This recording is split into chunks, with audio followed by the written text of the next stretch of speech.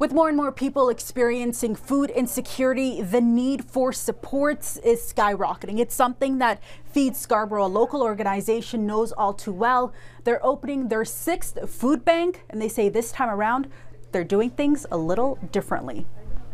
We are one of the first food banks to start not only the to do not only the grocery store model but also a points carryover model.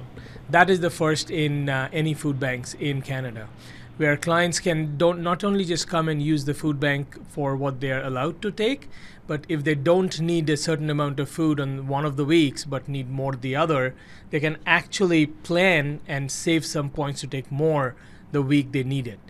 So how does this all work? Well, the clients will come in here, they'll grab a bag or a basket. They have three different rooms to choose whatever they want. And this all works on a point system here. So all the clients will be getting a card with points on it. They can come to this location at Warden and Eglinton Avenue East, get what they want, or they can also go online and make those purchases. Now this is the grim story. Uh, in overall Scarborough, we've seen a 29% jump in use of food banks which is higher than any other part of uh, GTA.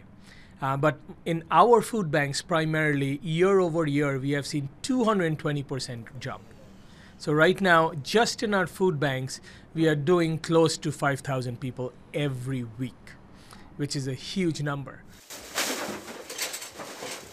For the past three years, uh, it, we came to realize that we were running into people that were in need of food while we were working. Uh, so once a month we come here. We bag 30 or 40 uh, bags of variety of different items, uh, non-perishable of course, and uh, we carry them in our police cars so that if we do encounter somebody that's uh, underhoused or in need of food, then we can be able to supply them with food right away. We run a business that we want to shut down for good. This inequity is what really drove us because these are our folks, these are our community.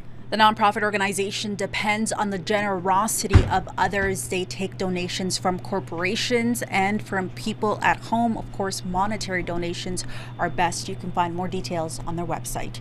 In Scarborough, I'm Faiza Amin for City News.